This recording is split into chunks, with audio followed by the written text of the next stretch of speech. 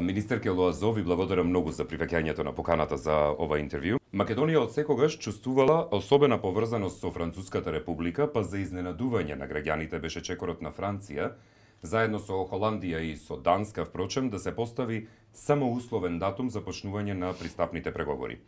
Дали денес, сега веќе Северна Македонија, има многу повеќе изгледи за пристапување кон Европската Унија за разлика од предходно Македонија?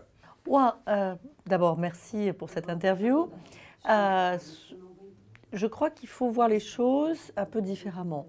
D'abord, la France euh, est très attachée à sa relation avec la Macédoine du Nord et très heureuse que les accords de Prespa soient entrés en vigueur et qu'aujourd'hui la Macédoine du Nord donne l'exemple au reste de la région des Balkans.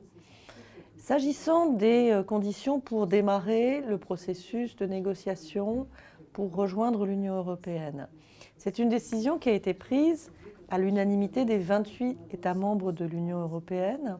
C'est une décision à la fois d'encouragement, mais aussi une manière de dessiner le chemin qui reste à parcourir. Lorsque l'on ambitionne de rejoindre l'Union européenne, il y a un point fondamental qui concerne l'état de droit. C'est vrai pour les candidats comme c'est vrai pour les États membres de l'Union européenne, parce que c'est la base du projet européen. C'est la raison pour laquelle, ensemble, tous les États membres ont listé les réformes qui étaient souhaitables pour que non seulement les citoyens de Macédoine du Nord puissent s'appuyer sur une démocratie solide, mais qu'aussi les chances de la Macédoine du Nord de rejoindre l'Union européenne soient augmentées. Дали Северна Македонија ќе добие отворање на пристапните преговори во јуни, со оглед на тоа дека генералниот директор на Европската комисија Кристијан Даниелсон при последната посета на државава изрази сигурност дека тоа ќе биде тогаш, но во делот дипломатскиот свет постои своевидна скептичност за ова лето, па се спомнува септември како следна опција. Каков е вашиот коментар на тоа?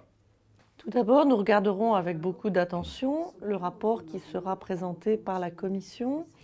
Mais comme vous le savez, ce sont les membres du Conseil qui décident entre eux, parce que ce sont les ministres qui sont responsables devant leur population, et pas la Commission.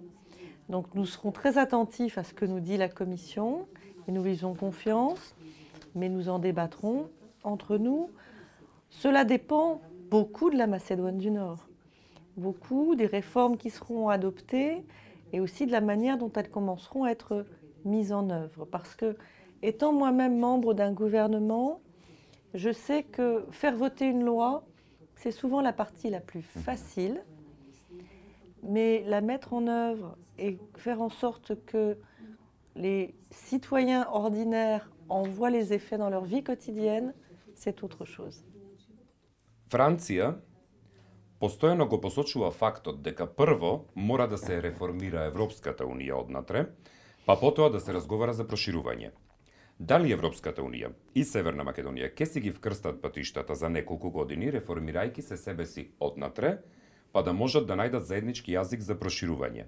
Или постои опасност некоја од двете страни да не успее да се реформира навреме или целосно, па повторно да се разотидеме? Ce que je peux vous assurer, c'est notre engagement à réformer l'Union européenne.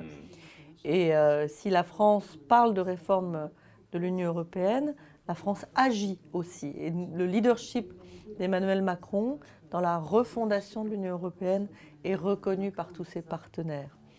Nous avons besoin de nous réformer parce que nous sommes en train de subir ce qui est un échec de la construction européenne, le départ du Royaume-Uni. Et on ne peut pas faire comme si cette décision n'avait pas été prise. Nous devons aussi nous réformer parce que nous sommes nombreux autour de la table du Conseil aujourd'hui, 28 aujourd'hui, 27 demain. En termes d'efficacité de la décision, ça n'est pas toujours optimal.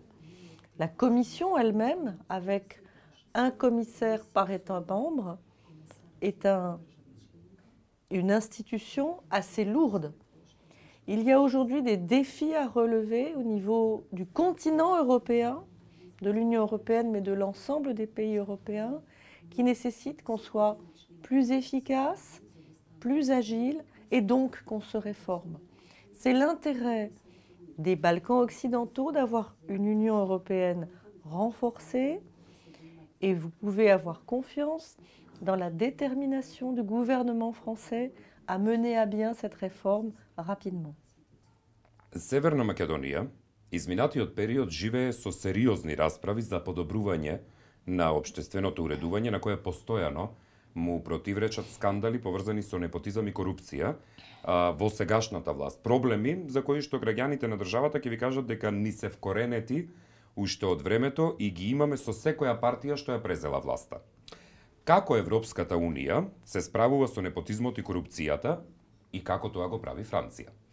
La lutte contre la corruption, la lutte contre le crime organisé sont des éléments importants de l'état de droit et sont des, des, éléments importants de la confiance des citoyens dans leur système politique et dans la démocratie. Le jour où des citoyens n'ont plus confiance dans un système politique, en général, ils votent avec leurs pieds. Ils s'en vont. Et c'est ce qu'un certain nombre de pays ont connu au travers de l'Europe. Le sentiment, notamment pour les plus jeunes, que euh, leur avenir était ailleurs. Ça n'est bon pour personne. Lutter contre la corruption, lutter contre le crime organisé, c'est un travail de tous les instants. Il n'y a aucun pays qui peut dire je suis à l'abri pour toujours. Et euh, en France, il y a deux ans, en 2017, la première loi qui a été votée par le nouveau Parlement concernait la transparence de la vie publique.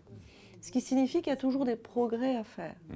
Mais pour faire des progrès, il faut une volonté politique et il faut aussi un engagement de la société civile parce qu'on est mis au défi par nos citoyens qui sinon expriment de plus en plus de défiance vis-à-vis -vis des dirigeants politiques et finalement ça paralyse toute action publique. Дополнително на ова, дали на патот кон приближувањето кон Европската Унија ќе ни се испречи несоодветното третирање на владењето на правото, за кое добивме критика токму од земите столбови на Европската Унија, дали во овој случај законот за амнестија и или бегството на поранешниот премиер Никола Груевски како и други високоризични бегалци од правдата, но исто така и законот за антидискриминација, а, може да ни бидат проблем во напредувањето. Каков е вашиот став прочем на сето ова кон Унгарија како земја членка на Европската Унија која му дозволи азил на а, поранешниот премиер Груевски? Je ne veux pas m'ingérer dans la politique intérieure de la Macédoine du Nord ou dans la politique intérieure de la Hongrie. Mais il y a des valeurs communes qui fondent le projet européen. On ne rejoint pas l'Union européenne parce qu'on a envie d'être dans un marché. Personne n'est jamais tombé amoureux d'un marché. Mhm. On rejoint l'Union européenne quand on croit dans des valeurs fondamentales, et parmi ces valeurs, l'état de droit. L'année dernière, le Conseil européen a donné une liste de quatre éléments principaux sur lesquels il y avait des attentes par rapport à l'engagement de la Macédoine du Nord. Ces éléments sont connus, c'est la lutte contre la corruption et la criminalité mmh. organisée, c'est la réforme de la justice, c'est la réforme des services de renseignement, euh, tous ces éléments et la réforme de l'administration publique, tous ces éléments ont été précisément listés pour permettre à la Macédoine du Nord de travailler sur ses priorités et pour permettre aux États membres de l'Union européenne d'accompagner le pays en direction de, l'Union européenne. Et là-dessus, nous serons évidemment très attentifs. Euh, vous avez cité euh, le projet de loi euh, antidiscrimination. C'est aussi un sujet important parce que c'est une valeur fondamentale de l'Union européenne. Partout dans l'Union européenne, partout en Europe, on est convaincu de la nécessité de lutter contre toutes les formes de discrimination. Et c'est important si la Macédoine du Nord peut avancer dans cette direction. Дали ова сето што го набројавте е главниот фокус кој што треба да го имаме ние на патот кон Европската Унија набрзо? Ce sont des éléments importants, ce ne sont pas les seuls, puisque l'acquis communautaire, euh, il correspond euh, à un certain nombre de domaines économiques, financiers, environnementaux, tous sont importants, mais c'est un processus. On ne demande pas à la Macédoine du Nord d'être prête demain.